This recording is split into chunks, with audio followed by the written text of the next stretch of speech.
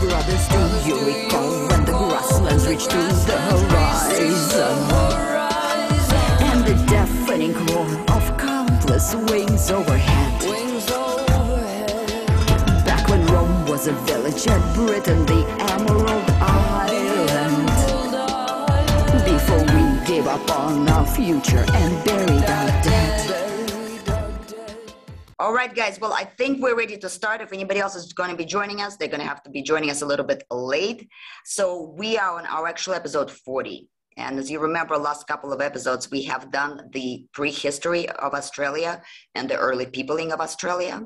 We talked a little bit about the different um, peoples who came to Australia early on and how the dingo got there and all that other lovely stuff. And we also had an episode on the Black War and the Tasmanian Aborigines uh, separately because I felt that that topic did deserve a separate discussion. And today uh, we have a special guest speaker. Thank you, Nathan. Thank you so much for joining us, Paul.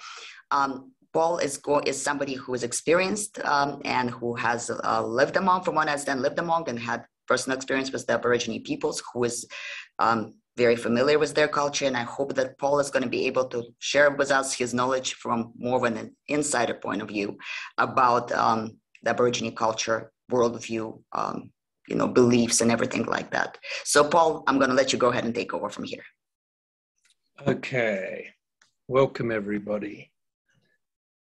Okay, I thought I'd give you introduce you to some of the language and just sing a song, um, and also do what we call in the culture um, a land acknowledgement. And I've noticed that actually happening throughout America. It's been practiced in Australia for uh, at least 20 years or more, and where you acknowledge the land that you're on. So, right here, um, I'm in Laramie, Wyoming, and I acknowledge uh, that, that this land is part of the Arapaho, Cheyenne, Shoshone, Lakota, and all the first peoples who shared this landscape, and we honor and respect the elders past, present, and emerging. And uh, this is an Aboriginal song that brings happiness to the land. It's called a Wonga song with the clapsticks that were given to the people in the dream time. And the didgeridoo would be played normally with this, and there'd be a song and dance, and it's uh, it's a male and female song. It's a group song, and happiness to the land is not a nirvana thing. It's actually practicing ecology, where they would sing the land to make sure they get the right balance on the land, that they get the right amount of rain. If the right amount of rain happens, then um, all the children, all the mothers will have healthy children, the plants, the birds, the animals, the insects, everything, and the people will be kept in balance.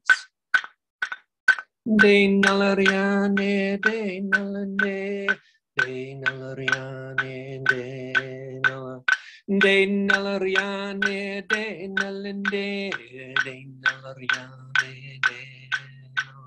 De nalariane, de nalande, de nalariane, de nala.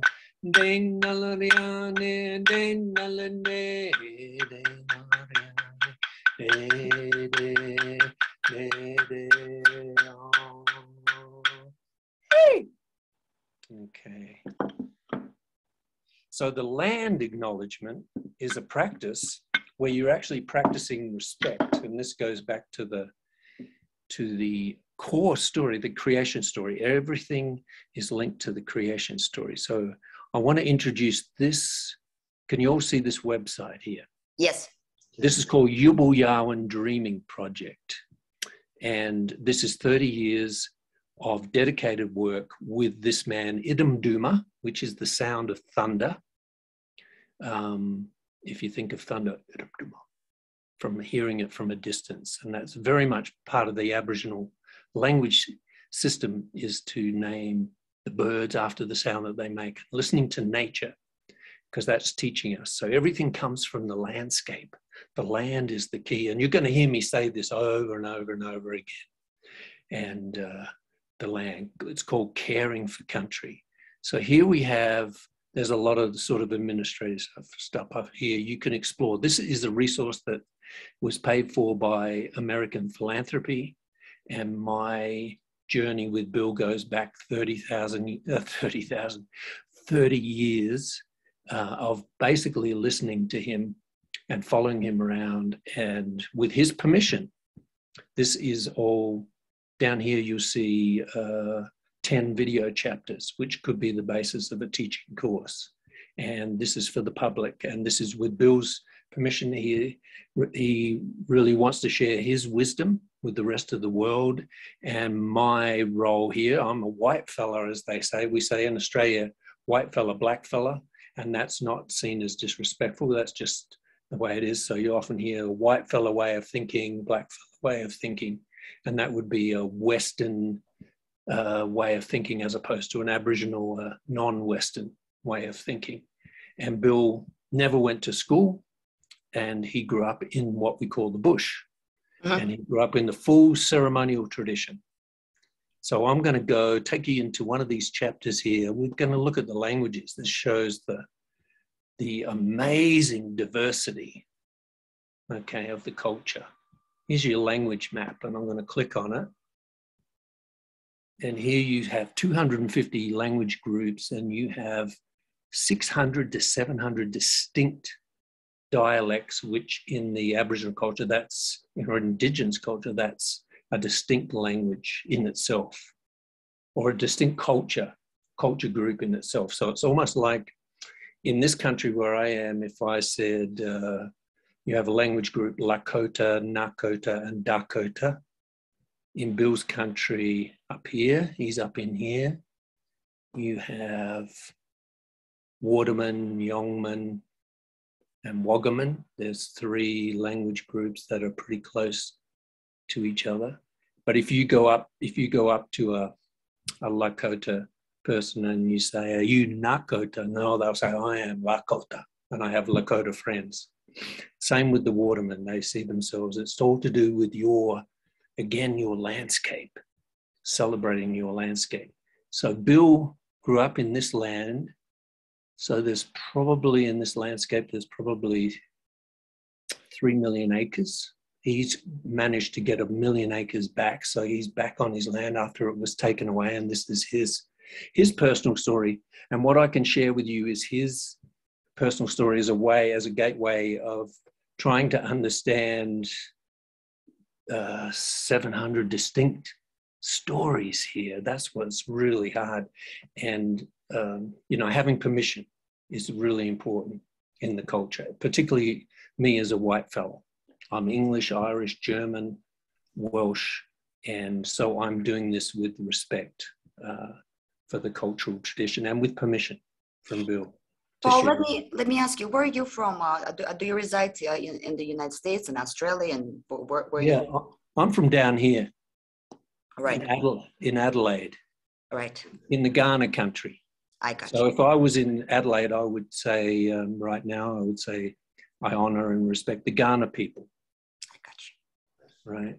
And recognize this is an Aboriginal practice of recognizing um, the culture is practicing respect because there is a legal jurisdiction when you move into somebody else's country. So as Bill moves around, if he wanted to sing his song in Kaurna country, he'd have to ask permission from the elders down there. And this is this was a peacemaking thing that actually created relative peace right across the country for 50,000 years. And 50,000 years is a really difficult concept, but 50,000 years of attachment to a single piece of land. Mm-hmm. Imagine the intimacy. So I've been visiting Bill for 30, 30 years. And when I'm when we're traveling through the, the land, he has a story, has a creation story, and a song that goes with every piece of landform. And it could be one tree in the savannah bush that he'll stop and tell the story. If it's unique, uh, it will be part of a creation story. And this intimacy is pretty remarkable. And it could be a little rock formation, or it could be uh, certainly a big rock formation, but every, every natural landform has a, a story. So this is a, a connection to country which teaches caring. And they would practice through ritual, through song, dance, painting. They'd paint themselves up. And these were all rituals that were passed on from the dream time, from the creation time.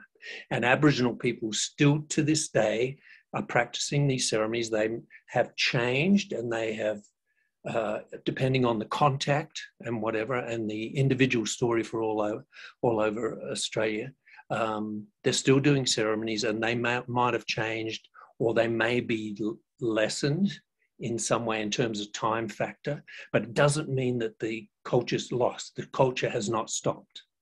And right. that's important. The culture is still alive and it is still being practiced, and Aboriginal people are not dying out. And that's a very important message they want to leave with the rest of the world that we are strong and flourishing, and they are the most resilient in the world. Now, may I ask you a question real quick um, uh, yeah. regarding regarding because I know that the, there was obviously a significant impact when there was a serious and uh, basically invasion by the Europeans of the Australian continent. Is there any estimate uh, to the losses of cultures and languages uh, versus those ones that remain today and are strong? Yes, and I think if you go back to that, uh, where were we on this page? I think up here this is a resource. Mm-hmm. 270 language groups, 500 to 600 dialects. And the scientists argue about this. 145 Aboriginal languages are spoken today, and of these, uh, considered about about only 18 languages remain strong. Yeah. And this is changing. In that area where Bill is, there are 30 languages uh, that are red lighted. And there's only, Bills represents one of uh, three language speakers left. So you've got these oh, small, diverse groups, and that makes them very vulnerable. Right. If you go to New Zealand and the Maori culture, which is relatively a lot younger, right. they have been able to successfully uh, um, amalgamate around one language. Right. And, that, right. and that's given them a lot of cultural strength to do so how do the language groups line up as a, as in family and and historical or prehistoric language dispersal? So if you if you look at this map you can see the red line areas that would be a geographic thing. So the land creates the culture. Mm-hmm. we always go back to the landscape. So the geography in the, this would be a language uh, grouping down here up here. And this is supposedly was the the entry point right. up here as you would have probably studied. But if you go down here to western australia this is a totally different language system right. down here which is quite remarkable. And it's remarkable the interesting thing that right across australia is aboriginal people had a spiritual legal constitutional system called the dreaming which links them still to this day even though you've got this 50,000 years, and probably because of that 50,000 years, the linkage is there, but you've got that diversity of languages right across Australia that are totally different. But there are practices built within the details vary and the details aren't important. It's really a celebration of your land where you are. But the essence, the dreaming essence, and that's what I want to leave with you today is a feeling of how Aboriginal people really their worldview, and this still goes on today how they see the world, how they see everything connected, and how they're important. Uh, their voice is really important for what's happening with the planet right now. Does that answer your question, sort of? It it does. Uh...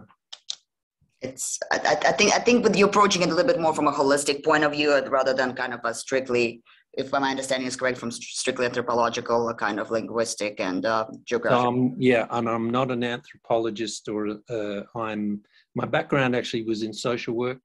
I, I met Bill in the 80s as a social worker, and uh, I was just interested, and I hung out with him. I kept coming back year after year after year, and then it turned into a mentorship when I came to, a, and I live in America right now. I came over as an ambassador, and I had to, whether I liked it or not, I had a didgeridoo on my shoulder, and I had to answer questions of culture. So I went back to Bill, and he said, They're asking me Bill, uh, Paul, they were asking me, Bill, about the dreaming, the dream time. uh, the rainbow serpent. What, what's all this all about? And he said, well, you better teach him. So then we started an active mentorship, which is very rare. When I grew up in Adelaide, I did not have contact with Aboriginal people growing up. Right. So tell us a little bit more about the dream time. What is it? Like, what is it? Is it a concept? Is it an idea? What, what, what, a lot of people are not familiar with it whatsoever. Right. So the dream time is the creation time. In the creation time, the, the great spiritual ancestors came from the sky, they came out of the ground, they came out of the ocean. In the beginning, there was no trees, no land, no rocks, there was no shape to the land, there was no life. The spiritual ancestors came first. Rainbow, in particular, began to carve out the river systems with his mighty sweeps of his tail. He did the folding and the shaping of the landscape. He did the geology of the land, but he also brought the water. And he, she, it's a multi concept, and it's one of the major spiritual ancestors you'll see, uh, particularly across the north. If you go to the north of Australia, you will see pictures on the side of buses. You'll see this giant snake with multicolours. That's the rainbow snake, the rainbow serpent, who can bring the flood, bring the drought, but brings the, the water that we need as well. Um, in Bill's country, you have a sky father who's a long, tall, skinny fella and he's the boss of the sky. And you also have an earth mother called Dung Dung, and she is a frog lady. She gets her, her name after the sound that she makes. And they are the three, they actually have a three, three ancestors. But as you go around Australia, you have these different uh, spiritual ancestors. It's almost like the spiritual took on different um, aspects. They took on different costumes depending on that landscape. And that's okay. Aboriginal people have a, a, story of the origin of the kangaroo all over. You'll have 700 different stories of the origin of the kangaroo. It relates to their land. They didn't go around and say, well, my story's right and yours is wrong, or yours is wrong. They're all okay. Everything's okay. And that's a beautiful concept that everything is is no worries mate. As we've learned in our vernacular that actually comes from aboriginal wisdom that was taught to the white fellas when they arrived. So the ancestors came they shaped and they were singing. They gave birth to the people and they passed the songs and the dances and the ceremonies the paintings on to the people still to this day. And the songs, the ceremonies teach the people to care for your land. They call it caring for country. And this was then what they call the legal, the law, L A W. It's not L O R E, it's L A W. This is their legal system that they practice. So you practice your law is caring for your country, and that's how you keep it in balance. You keep your ecological balance by doing the ceremonies, right? Right. Then the people went through they then continued the shaping. And there's a point, there's a major point in the, all the creation stories where the spirituals became what we know to this day. So some of the people walk around became the kangaroos, right? Some became that emu, the giant one who could run really fast. They became the birds or the kookaburras or the cockatoos. Yeah, yeah. Some jumped into the billabongs, which are the springs, to become the crocodiles and the fishes. Some became rooted in the ground to become the trees. Some change into the insects, like the grasshoppers, which is Bill's principal totem. We'll talk about totems later. Okay. And then some people change into the present day people, which is us. And the job of the present day people is to look after all your relatives in the natural world because we all come from the same beginning. Right the same essence. This is microbiology. Right. My molecular structure is is very much the same as the plant, the bird, the animal, the insect. So the scientists have shown that all the building blocks of matter are all connected. So the dreaming comes first. They call it the dreaming now because it's in it's in every living thing. The dream time is in every living thing, which is that spiritual energy essence. So this links to cutting edge science in the Big Bang because energy came first before the stars were made. And then they would then say that's when matter came and our bodies are made from stardust. So there you go. So then the at the same time, this is where they link to the stars in the creation story when everything changed to become, Bill calls it when it came to still, which it was all moving and whatever, and it came to still. He describes it as a sort of muddy period. And then all the shadows, when everything changed on the land, the shadows of all the people went up into the sky to become the stars. And the major spirituals, which is rainbow, and in Bill's country and the the Sky Father and the Earth Mother, they all went up into the dark spaces in the Milky Way, which is right behind me. Right. They focus on the dark matter, which is where science is focused now, caught in the black holes, where creation started. That's where the creators live in the Aboriginal wisdom. And they're looking down from above. They're seeing if, how we're carrying out the law. The law is caring for country. And if we don't care for our country, they give us a signal. And it could be the tidal wave, the volcanic eruption, the bushfire, which is happening in Boulder right now, close Right. to Boulder Superior, is burning up. 500 houses are burnt, have burned today. Um, this is a this is a clear uh, indication from the Bill would say from the spirituals saying, pay attention. You're not caring for your country. So this is where the wisdom is incredibly relevant right now, and that's what this website is all about: is giving um, authentic voice to the indigenous. And I'll, we're going to listen to Bill in a minute instead of me. Right. Does how does that answer your question? Yeah, it does. And could you and could you share a little bit about the rainbow serpent and the, the significance of this figure? So rainbow, rainbow is major, and certainly in Bill's country, um, up here in this in this tropical. This is a tropical. You get monsoonal rains, so you see uh, a lot of stories about rainbow in this country, and this is where the didgeridoo. Rainbow um, made the rivers. He actually made the ocean. He made the rivers. He brought water, essentially brought water to the world. And uh, in Bill's creation story, he uh, took the sound of the running water and he gave it to the termites, who were people in the beginning. And then they, in their time, in the creation time, they ate through the trunk of the eucalyptus tree and they put that song in the tree. And when you blow that didgeridoo, that's the sound of the running water. So the didgeridoo, playing the didgeridoo, and I do arts and education, don't teach didgeridoo to kids. And Right. we'll say this is going to fill, help to fill your rivers in your community, wherever you are. Rainbow teaches us to pay attention for the land. When Rainbow uh, brought the laws about caring for the water, he went to rest in, this is another story, went to rest in the Billabong, which is a pond, and people watched and they waited. And then one day another big storm came, Rainbow shot up through the trees, through the clouds, and he dove into another spring many miles away. And still to this day, when people see the rainbow in the sky, they say, that's the rainbow snake, jumping from one billabong to another billabong, one pot of gold to another pot of gold, which would be my Irish heritage. And the pot of gold is water. And the lesson is when you see that, you remember that story, and that's a reminder don't be greedy with the water, always share the water. Right. Right? Rainbow teaches us water ethics, okay, and the importance of water. So um, there are many, and right across all these different groups would incorporate rainbow into that rainbow snake into a lot of these stories. And he was connected to the didgeridoo as well.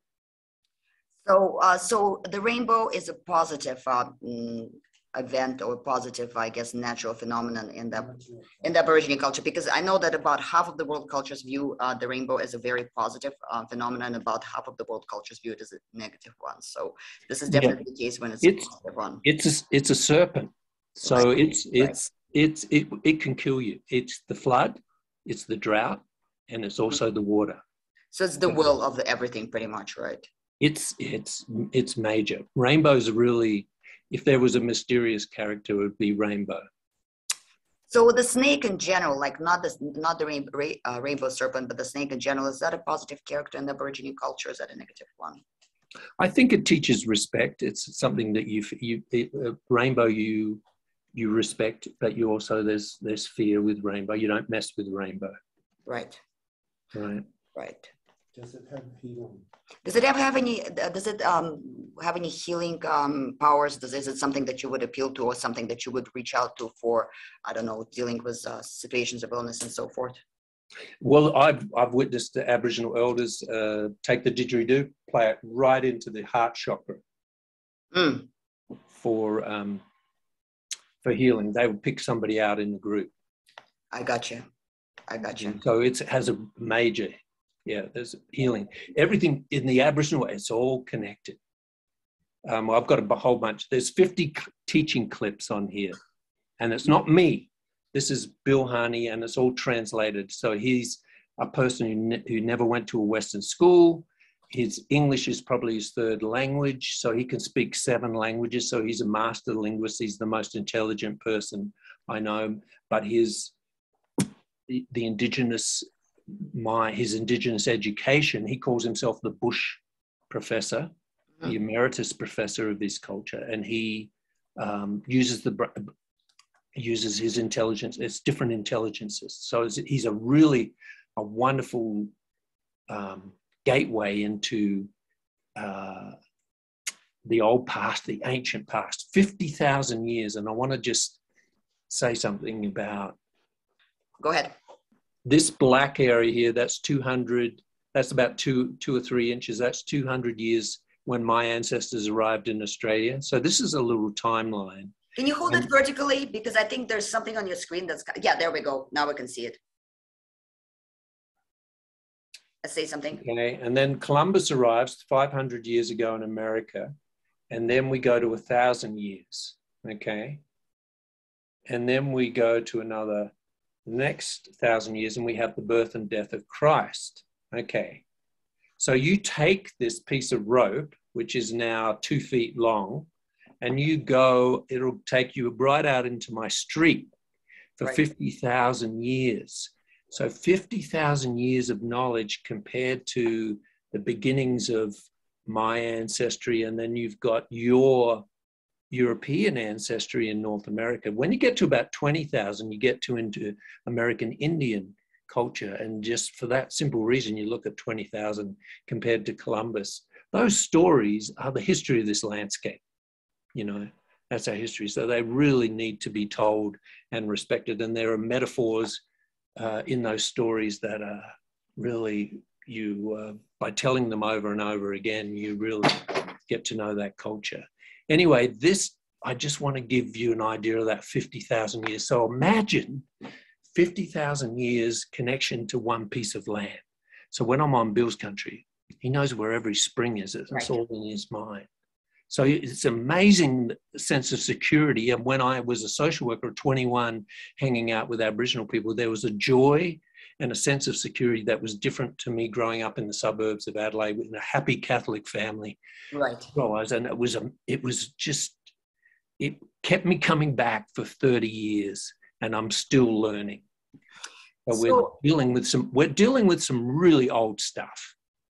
Right. So I, I've, I've, re- I've even read a study, I think it was either last year or the year before last, where they found out that some of the Aborigine Dreamtime stories actually reflect some uh, geological uh, events that took place thousands and thousands of years ago. And uh, they were able to actually kind of uh, correlate some of the Dreamtime stories to the actual um, the kind of really serious Titanic events, uh, disappearing and appearing of land masses and so forth. And that's exactly what the creation story is that I'm going to share with you. Okay, let's listen to Bill.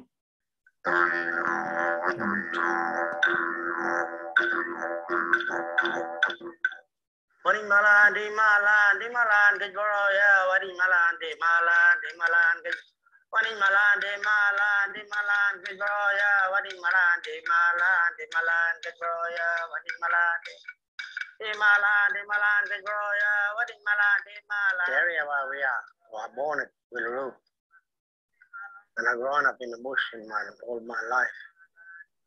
I work in my own land. But I work also in a different parts of the area. But always come back to the homeland. In the landscape where you travel through, in open area, that area begin in some floodplain or little high mount, which is sacred.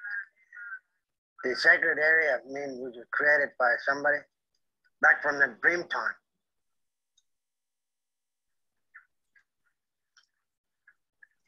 The river itself, uh, many sacred places there, right?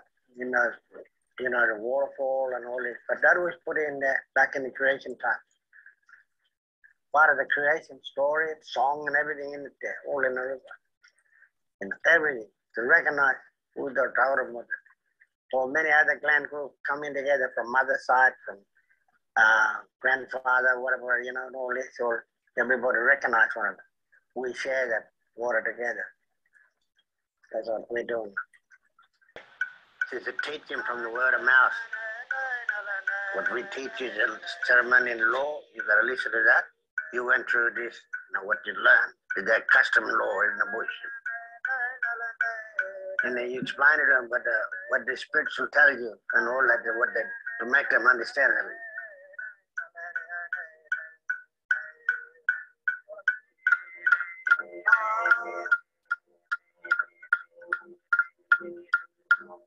it.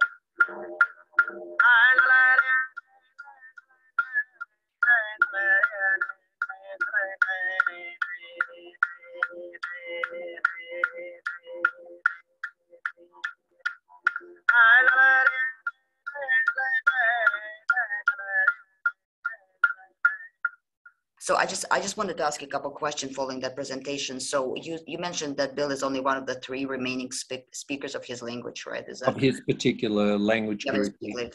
So, and I assume that there's some, um, you know, so, but his group itself is still going strong, is my understanding from what we just saw. Yeah, they're still, yeah, they're not dying out. The Wardaman um, got disbanded. My in the, their particular story, in their, this was cattle country, as you saw. Right. So he was his people were actually forced. They they needed that land. Otherwise, in other areas, they would just either push. If the white fellas wanted the land, they pushed them aside, massacred, whatever. Right. Right. If they needed the land, in this case, there was a whole area in that region where they could run the biggest cattle ranches in the world. What happens to an Aborigine person? Um, you know, even before the the white people came there, what would happen if an Aborigine person, for whatever reason, was displaced from their land? I mean, could they and had to relocate? I mean, would that be possible for them? Was would that be something that is completely um, impossible for an Aborigine person uh, to be suddenly evacuated from their homeland, from their territory? Well, yeah, I mean, a lot of people were displaced. There was a whole period.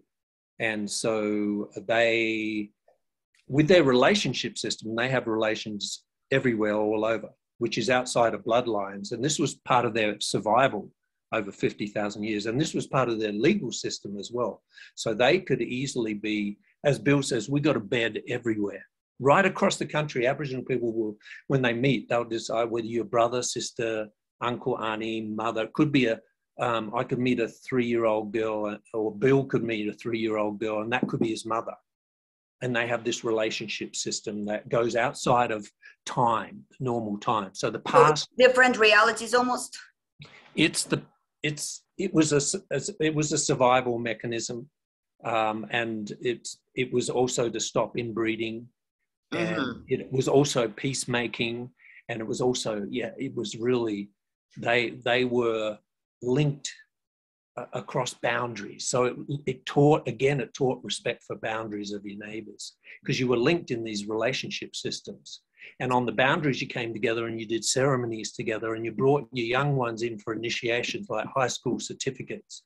At the same time, they're, they're picking out their prospective partners and it's all to do with this relationship system. So you've got a whole group of people, but it's within a group that you could choose from. And it was really serious law. And the scientists have analyzed it and said it really does stop inbreeding. So if let me see if I get this correctly. So besides the kind of uh, the actual relationship system, as in like kind of kinship ties, whether they were genetic or you know adopted or otherwise, besides the mythological kinship system, there there was also tra- trans time and space kind of uh, relationship system to where you may have a relationship with somebody who may be some something else to you outside of this present reality. Is am I did I understand that correctly? When you said that Bill might meet the little Bill who is his mother, I'm just I wanted to make sure that I understood that right. So we'll go to the uh, law chapter. So this is the law, and this was brought again in the dream time. hmm So you go to skin relations here, right here. This was their relationship system. So everybody's born into a category I got here that links and it shows you who you can marry. These are the marriage systems. But here, I'm Janama and Bill is Jungari. So they we're father and son. So I see. and I'm not born. So when you, if you Julie, you spent time in the in the Aboriginal group, they would give you a skin name. They call it a skin name because you got to. They want to know how to relate to you. You right, everybody has a relationship from outside, and we're, we're obviously not blood. right. So this, this goes outside of time. So it's almost like the they say there's a saying they say the past, the present, and the future are all happening at the same time in so, the Aboriginal system of thinking, and this is really difficult concepts for Westerners. so question is, is this in any way correlated to the totemic system or is that a whole separate uh, system of coordinates?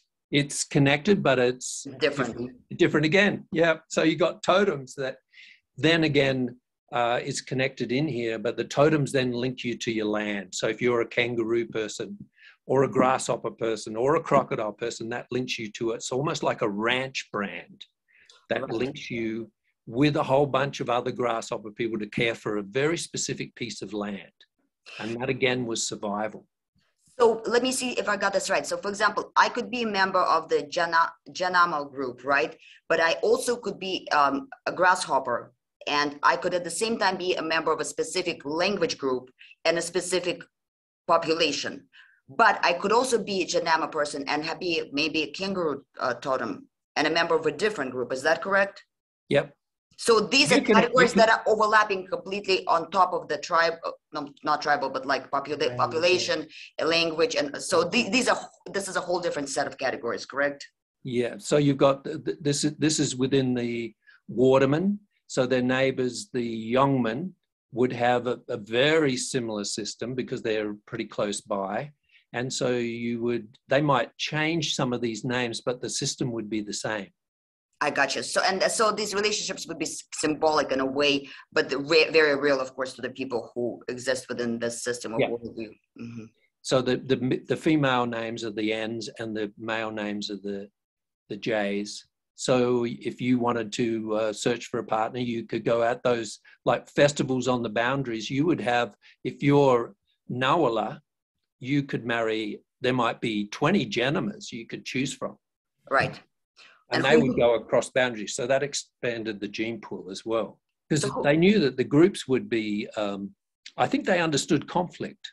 Right. And so when conflict did occur, there were very uh, specific uh, mechanisms that actually kept it down. You dealt with the conflict, but you didn't go to commit genocide.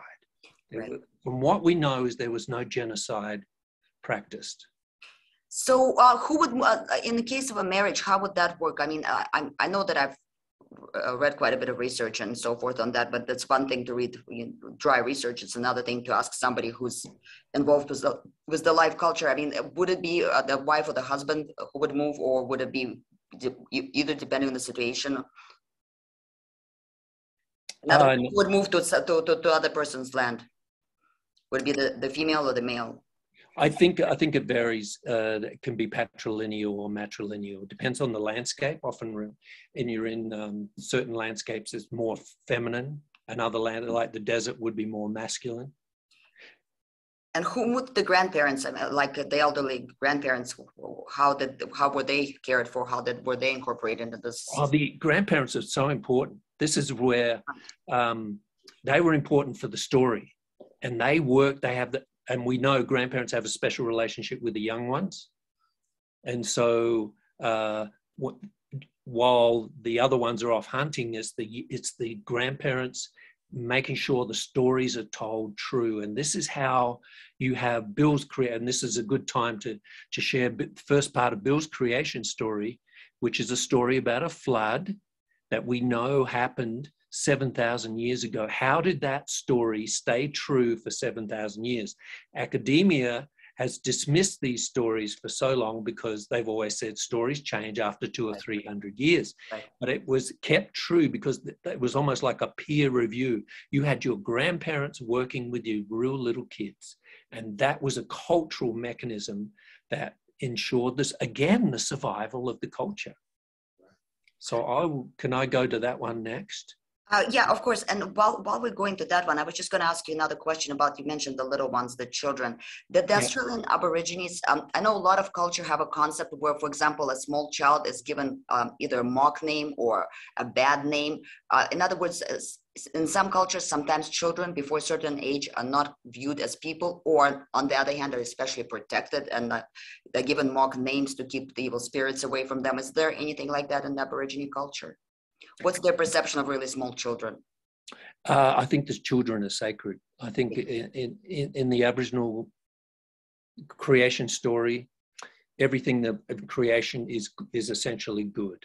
Okay. There is uh, original sin does not exist in the indigenous Right. world. and the children are they're human. They're capable of being bad, but they're not born bad, right?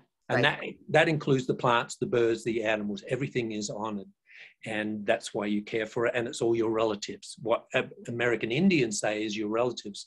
That goes back to that creation story. We're all made from the same thing. Aboriginal people don't say relatives. They just, but it's incorporated in there. Yeah. If you go out to the culture and, and you go out to visit Bill, he'll take you to a rock art site. He'll sit in front of it. There's the blackboard. He'll say, This is my book. This is older than your books, Paul. And you have your university and you have your professors. I'm a Bush professor. And he said, These are our books and these are older than your books. And he's dead right. These, these are dated conservatively at seven to 10,000 years old, which is about when the flood came. And in rock art in Australia, there's places where they go up to about 30,000. So we're talking about some of the oldest rock art in the world because the story is where it all began, the creation story. And I've broken it into three parts. Mhm. And he, again, Bill's neighbors will have their creation story. It'll link to their land and their, because their animals and their rock formations and their landscape is different. So they'll have a unique uh, story that is uniquely different, but the essence of the dreaming, the dream time is still the same. tell you the story about our creation history. Now, before that, what happened in this country? There was no rocks, and there was no tree, grass, pencil. And the uh, first is three people was in this country. Now, uh, one is all rainbow, the one that made the sea, an old lady called Dung Dung come out of the side of the earth, she's a frog lady, and went across and made it up with a rainbow. Twin our rainbow and the Dung set together. Anyway, uh, later they got married up and they had many children all underwater. The later Dung walked out inland to dry herself out. Another one came down from the sky it's called Nade. It's a long Mimi man. Came down and landed beside a Tundung. And he said to Nade, Where'd you come from? Nade said, Oh, I came from the top. And they uh, and uh, Nade asked Dundu, Where'd you come from? And she said, I come out of the side of the earth. Ah. Anyway, they sat down and they had talk and they got mated up. And then uh, Dungu finished up with the two husbands. He had all rainbow and he had Nade.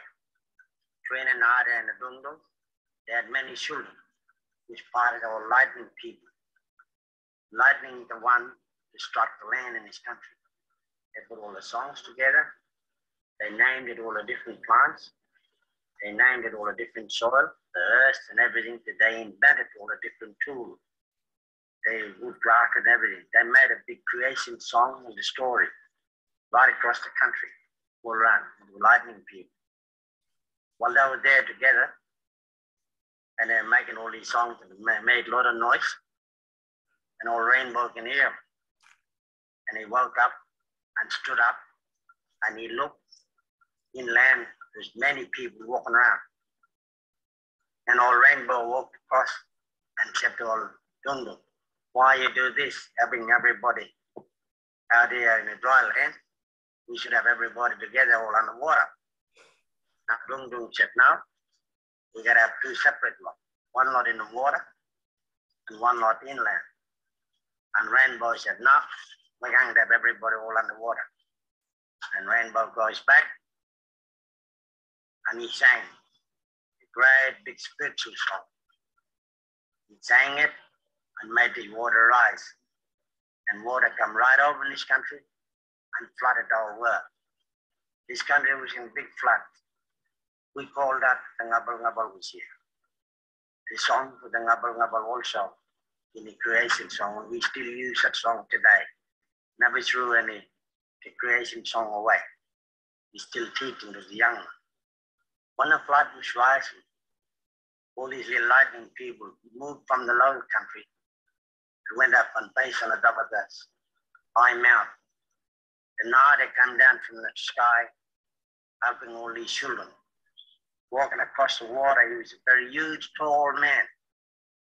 That's why they call him a Mimi. Picking up all these children.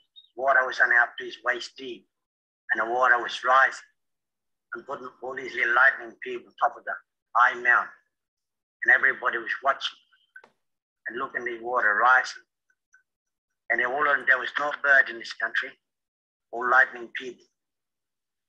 One of them is not today, it's a bird, where he came from the lightning people, picked up a little bird now, which is called Willie Wagtail. Willie Wagtail, the one he invented called a stone tool, made spear points, stone axes, scraper, and everything out of a mud. And he sang it, all went wild. And he made a pointy one.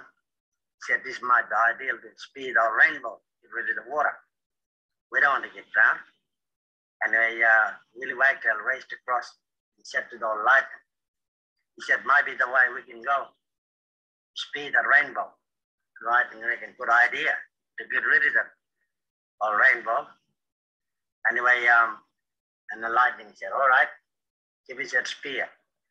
Wait a minute, Willie Wagtail said, I'll go and make the long end of the spear. Nah? He packed all the mud and he rubbed it together, made it longer, and he sang it, made it like a long spear, and put these little flints on the end of it, out of a mud again, and it was very strong. But he made many of them, and he went across and gave it to the lightning. Lightning, the one threw the spear, hit old rainbow, cut him in half, never killed him. And all rainbow got very annoyed, and he sang it, and he brought his water right up. And then the, the lightning said, oh, keep that spear to the gray falcon. Now, he was the human first, now he's bird today. Now, the falcon, so once carried a fire, um, he carries a, what we call jundi, it's a boning tool, and he carries it and it flies him across with this, uh, with like the feathers and stuff like this, and also the shooting star. The falcon, he invented all that song, and he picked up this spear point and he sang it and he sang it to go straight to the rainbows, to kill our rainbow. When he sang it, when after he finished, the grey falcon, the one who threw the spear, came right across the country, straight to the rainbow, shot his head right off. The head of the rainbow fell down, and the tail end stayed away, and the water ran right back to the sea level, where the rainbow made up. The big whirlpool there the big spiritual song, and that's why the whole water disappeared, and that's why it is there today. It's interesting that the, the rainbow is uh, in this story is associated with water more so than with land or with the sky, correct? Yeah, yeah. It rainbow's the link between the the sky and the earth, but it's also connected to the core. In a lot of the stories, he doesn't say it here, but it comes from the core of the earth, and that's where the the ocean, the water, and the oceans right. came from. And the scientists actually think that's where our water, um, the, the, thinking now is, is, there's a mystery in the world about where actually water came from. They think it might have come from an asteroid, but they're thinking it came from the. Well, like I said, I'm going to put a link to the website at the bottom of this video so everybody who's watching can go and explore these videos themselves and watch them uh, at their leisure and in full format. Do you mind if I ask you a couple more questions? Actually, David wants to jump in. I just find it amazing how many correlations there are between like uh, particularly any other group of hunters and gatherers uh, it, particularly out west here uh, the stories of Coyote, which are over many different groups, many different uh, language groups. Yeah. Uh, they're very, very similar. Yeah. Once you get into it, you find that there actually there's more similarities than differences. So it's beautiful. It really is beautiful. I mean, it's our shared humanity, living on the same earth, different places, different climates, but you're under the same stars as well. So you you find all these stories with the stars that are really similar. And it's just a tragedy that you know in Northern Europe we probably had them at some point. You know. Yeah. Yeah. Yeah. We they're just kind of gone now. I think that the monotheistic religions have very much wiped out a lot of these um, um, similar stories in uh, other parts of the world. And it's not just Europe. I mean, I think I think the concept of uh, right and wrong doesn't exist in no. Aboriginal thinking. It's all like everybody's got their story and it's respected. And there's the thing called respect you, that you hear a lot when you hear these elders speaking, and it comes from just respecting uh, just listening to other people's stories and respecting your neighbor's story is it's, it's, it's uniquely different and that's okay. It's Right. just, it's a beautiful way to be. And there's also not that exceptionalism of um, being, I mean, that's a very monotheistic kind of Judeo-Christian uh, and, and, you know, obviously Islam uh, idea that humans are the center and Yes. only, no, no, there's no there's no transition in those uh, monotheistic religions uh, modern ones to where i think the, in more traditional cultures there's a lot more kinship and a lot more overlap between humans the animals and even inanimate things like minerals rocks landscape and so forth Yeah, yeah. No, we're, we're, it's part of caring. I just clicked on the resources button here. When you go to the second page, you'll see the, the video, and then you've got a transcription here. So you can study this word for word because in his language system, it's really uh, quite, there's a lot of metaphors. That's, Um, a, that's a question I have is about the language. I lived with a, um, a woman we would call in English we would call her a shaman of the Gwich'in people in the northern Canada and Alaska as well. Um, she was a speaker, so she spoke 16 different languages, so she could speak to other peoples around her. And she says the stories are in the language, and translations don't really work very well. So the stories are being lost as the languages are being lost. Um, and because the, because the translation does it work the same way in Australia? Yeah, no, I think I think you're right there, and I think Bill being a master linguist uh, has helped a lot, and he he's able to actually give us a gateway as a Westerner to understanding these stories. And then if you went to the obviously these things work on many different levels, and so um, the metaphors, and I've I've translated a number of the songs, uh, and the metaphors in the songs work on these amazing levels. It's really beautiful. Can I ask you a question about Bill's language? Um, I know that different languages around the world and even uh, different Aboriginal languages work differently. Uh, For example, in, in a lot of our Indo-European languages, it's very set system where the um, the noun uh, has the most uh, bearing, and in some cultures, it's more about uh, the um, you know the verb or some some languages don't even have verbs as such, or they don't have adjectives as such, and so forth. Do you know how his language is structured as far as where where the accent goes? And uh, second kind of a follow-up question on that. I assume that with such complex kinship system that there would be a lot of different words for various uh, you know steps of relationships with other people more so than in, in any western language. Yeah, I think the noun often comes first, and then you build the action, so it's similar in that. that way and then the the there's no um, male and female. Like he'll often talk in English about dung dung, and he'll say he. right In their language system, they're all spirituals. so, there's no gender or, or sex per se Yeah, yeah, it's really, it's really uh, something. So often, he he's so good that he he he doesn't do it, but a lot of it's really common with other Aboriginal people. They'll just say he for a she. well my mom does that and she's russian so Yeah, yeah. So, so everything everything's That's- he. That's one of the problems we English speakers have, is because as, as a Christian theologian, um, you get a lot of people saying that God is male because that's what English forces you to do. It's not true. It's God has n- neither male nor female, which It's is the not a- Aboriginal understanding as well. As well, but uh, it because of the, the structure of English, we're forced forced into thinking that way. Right. I'll just show you another little resource here. You could then go into here's another one from the Cosmos Cosmos Journal about how the the seas enduring memories of ancient sea rise. And Right. this is where they're doing the research here to show how these stories, what we were talking about before, how these stories have endured for thousands of years and been true. Goes back to that relationship with the, the here they argue with the grandparents and the children. How did you meet Bill? How did you, I mean, if you don't mind me asking that question, how did you guys develop this, uh, you know, kind of a close uh, working together relationship? I met Bill as a, as I was a working social worker, um, and so um, and I was up in the northern. I grew up in Adelaide, but I went up. I flew up to Darwin, and I, I worked as a 21 year old, and I was actually working um, with a lot of mothers who had their children stolen Right. by the, by the welfare, hmm which is another which is another topic we could get into if we had time. Right. And Bill was protected. His sister was stolen, and Bill was protected from being stolen because he's of mixed heritage. And if any of you, the listeners, know about the stolen generation, they actually thought that the full, that the full uh, blood, as they called them in those days, the full Aboriginal uh, people were going to die off, and they thought these people are the lowest my ancestors basically arrived and thought these were the lowest form of humanity on the whole Right. planet.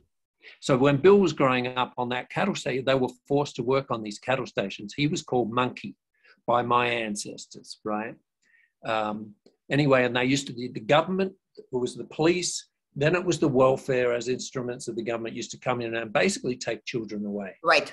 And so Bill was taken away. And force, forcibly relocate them and try to bring them up. Is he neither Yeah. part of either original community nor the part of the white community nor the part of any community? It's pretty much the stolen generations. stolen generation. It hap- happened all over the colonial world, as we we're finding out right now. Canada, America, whatever, uh, South Africa, you name it. And Bill, Bill's sister was taken away. Bill, they painted him up. His mother painted him up a full black color so Uh-huh. he wouldn't be stolen. Did you see the question in the chat that just showed up? Um, uh, regards, so the question about do people identify themselves through cultural or through bloodlines? They uh, identify through culture. Culture. so So, bloodline. So you have a lot of uh, Bill's relatives identify as Aboriginal, and they're uh, on that stolen generation side, uh, relatives of his sister, and they're whiter than me. right. So, and that's okay. The communities know who's Aboriginal and not. And I, I assume it's not so much based on really your genetics as it is based on your your participation in that reality, I guess. Yep, yep. You'll participate in your and your personal identification with culture. So it's it's basically it's like a nationality in the sense that you your nationality is determined exclusively by who you I mean who you decide you are. It's different than jurisdiction. It's it's more of a self identity based on culture, upbringing, and everything else, right? Yep, yep. Was was that? Did that answer all the questions? I think so. Does did anybody else have any other questions you guys wanted to jump in? Uh, David has uh, lots of questions, but we probably should uh, really closely review the website before we, we bombard you with all these others. Um, I do have a question. How uh, how old was Bill when you met him? Just I'm Oh just- yeah, you, that was your question. How did we? So I, you know, and, and I, um, I heard that there was this man who was opening up his culture and actually taking people out to rock art. Now you don't go out to rock art because they're ceremonial. If the ceremonies are still going, only the, the fully initiated can go out and see them. Right. And so the Wardaman got together as a collective, and I think because they had um, the elders had witnessed the it was a little bit like Red Cloud in the Lakota. He could see what was coming, and they knew that the culture was changing, and so they realized that they needed to document these these sites to protect them. Mhm. Um, and this is a really difficult thing for ab- Aboriginal for Indigenous groups. Do you by by opening them up and you you either can protect them, but you also can they can be them. Right, because these are sacred sites, right. right? And there's there's sacred sites and there's sacred sites and there's sacred sacred sites and sacred sacred sacred sites as well. So clearly they're only showing us certain things. Right. And um, anyway, so he opened it up, and and I just went out and I connected with him. I went out, and he started taking um, people and groups from all over the world, and he was just brilliant, That's, absolutely that's brilliant. fantastic. That's because, uh, you know, I, I mean, I have kind of one kind of a sorrow because I have, you know, we did a series of uh, shamanistic cultures in different uh, parts of the world. I mean, I had some information about, like, for example, Mongolian, you know, the the far, the Russian, North um, Siberian cultures, but uh, I have not been able to do an episode, for example, on the Native American shamanism because I don't feel comfortable doing it as an outsider, and I have not been able. They don't. They won't feel comfortable talking to you. And they won't talk to you. So, I, but I, I can tell, tell you that from experience. Yeah, but that's also a loss, I think, because uh, um, This is good for that reason. and that's why why you know I'm very grateful to people like Bill who are willing to share their story because if they don't share that story once they're gone, I mean, it may just disappear from the record of humanity. That's right. And he's very clear. He sees this as really important for the present day Right. world for Westerners to understand this Right. It's, it's invaluable. Well, thank you so very much for being willing to come on and share this experience and share this amazing uh, resource. I think this is a unique opportunity. Nathan, thank you so much for introducing us to Paul. This is just a great honor, uh, and we've learned a lot because we've been talking about with Aboriginal culture from an anthropological, kind of, um, I don't know, geographical, social aspect. We've talked about the absolute genocide that happened in Tasmania and the like you said, the, the, the way that the uh, Westerners treated these people was, I, I have no words for that. And I don't think anybody in their right mind has any words for that horror. But um, the fact that we still do have people from traditional cultures in this world, that we do have this invaluable opportunity to know what and who we are. Because here's the thing, like you were talking about the sacred sites, but Christianity, whenever it came into anywhere, first thing that it did, it went to the sacred site and stuck a church on top of it. Always always always. And so we lost most of it in europe. We lost most of it in uh, you know middle east. We lost of it just about every most of it just about everywhere. And so the fact that there are still places and there's still people who can explain to us the meanings the concepts at least the worldviews behind these sacred rituals these sacred um, sites these sacred songs um, it's, it's just a, such a window into who people really are all over the place david is jumping in Uh, here Just sit there. Okay. Um, I think it's really important because we are, in the next four or five generations, we're going to face changes that humanity's never really done before. And the learning that we can get from groups like that, I think will be key. Absolutely is no. It's time for the indigenous voice, and I'll I'll share with you something that um, Narelda Jacobs, who is a an activist, an Aboriginal activist, went on national TV on a on, in Australia uh, two weeks ago, and it was shared with me. They um, they went round. They had this. They, have these amazing panels that I don't see anything like it in this country. Anyway, they have people from the from the left and the right, but they have artists and activists and everything. They get and the audience asks questions just like what we're doing now. Anyway, and they said, "Is there any? Can you leave us with a word of hope?" And she said, "Well, she's connected to her community and to her elders." Right. And this is where the culture's still really alive. And she said, when the white ships arrived, our people, my ancestors, knew that this was not good. Right.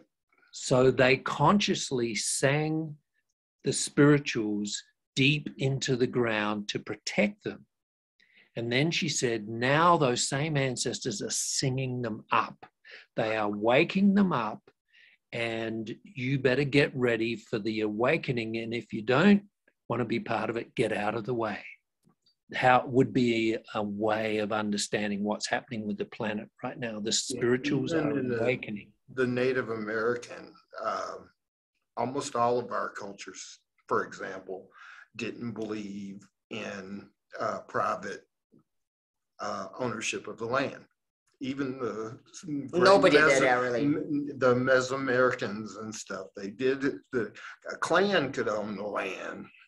Uh, the land You- or, the yeah, land owned the vigilant clan more like it. Yeah. yeah yeah So definitely that's a very different thing. And again, as we face these challenges, it might be a more valid approach.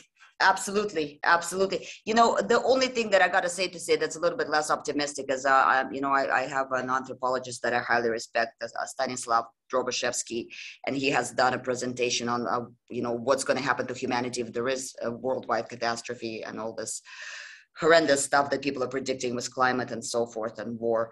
Um, and he's he's a very optimistic gentleman but uh, um, he, one thing that worries him is that the resources that this planet once used to have the plenty, plenitude of you know animals plentitude of fish plentitude of just ores and other things they're more or less used up. I mean we don't have the endless herds anymore. We don't have fish that are splashing in the ocean or, or in a river from one shore to the other.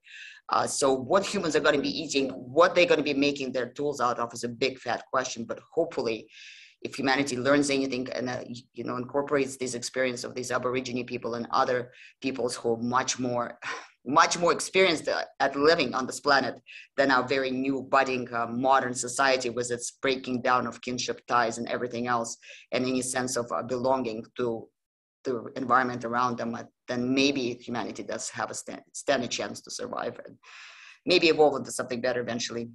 So I would like to maybe wrap this up on a more hopeful note and not necessarily dismal catastrophe outlook. Mm-hmm. But again, thank you everyone. It's awesome right. to see everybody. And we will reconvene on the 27th. I will send out a reminder. Paul, again, thank you so much for joining us. It's a pleasure. Right, thank you. Thanks for having me. Thank you. Bye-bye. Bye-bye.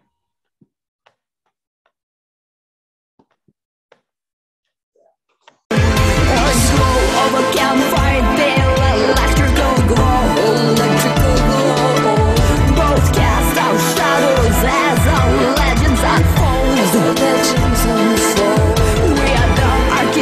that exist within every man's soul Every man's And we will live forever as long as stories are told As long as stories We are the archetypes that exist within every man's soul and we will live forever, or as long as stories are told. Are the archetypes that exist within every man's soul.